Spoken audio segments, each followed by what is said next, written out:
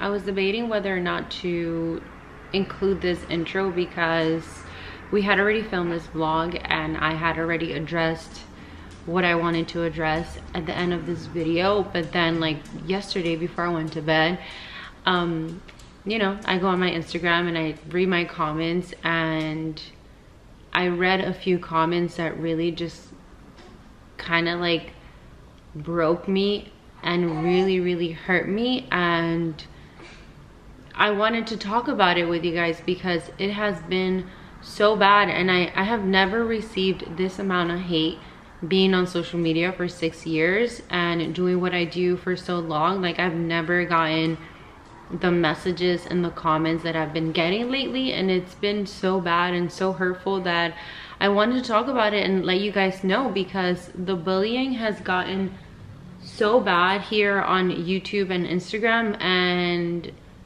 although I continue to block people, there's only so much I can do. Because I feel like people continue to create their accounts and they find a way to go to my Instagram and continue to leave hate comments. And it's just very very hurtful. I've been feeling so bad about it. Like i know you shouldn't let comments from strangers get to you. And i don't. I feel like i have really thick skin and people can say whatever they want about me. People can talk about how i look. People can talk about you know anything about me. But talking about my daughter my daughter that i carried for nine months and leaving me mean hateful comments about how she looks about if she's even my baby or like did they give me the wrong baby at the hospital? And like why does she not look like you or your husband? It hurts me so much. And yesterday i feel like i reached my breaking point i just started crying so bad last night because I didn't know what to do. I literally just removed all of her pictures from my Instagram. I made her Instagram private. I turned off my comments because I just don't want to see it anymore. And it's gotten to the point where I don't even want to post on my Instagram anymore because I, I'm scared of what people are going to say. And the accusations have been insane. Like, I don't know where these people come up with these things. I don't know where these people even come from. But I just wanted to let you guys know that you should really think twice before commenting on someone's picture, on someone's post.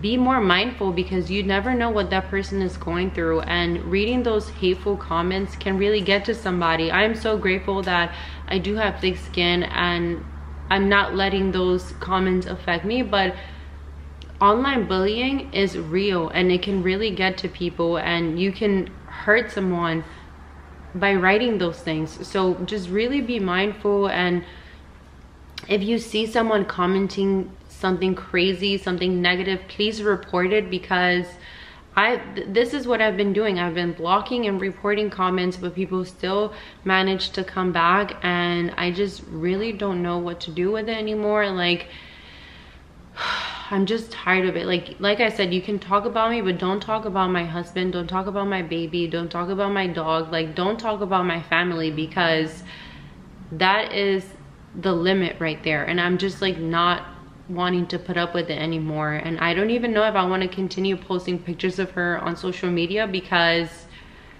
I don't want to put her in that situation where the negativity is just coming in. And i do see a lot of positivity. I'm so grateful for everyone who's always so supportive and leaving kind comments on all of my social media.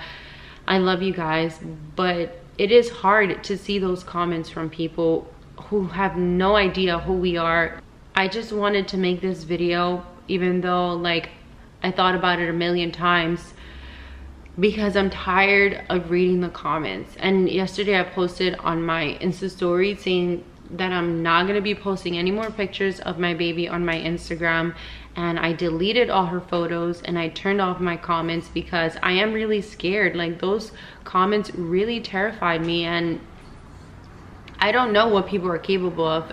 I just wanted to let you guys know one thing that I'm 100% sure of is that I would do anything and everything to protect my baby. So yeah, that's it.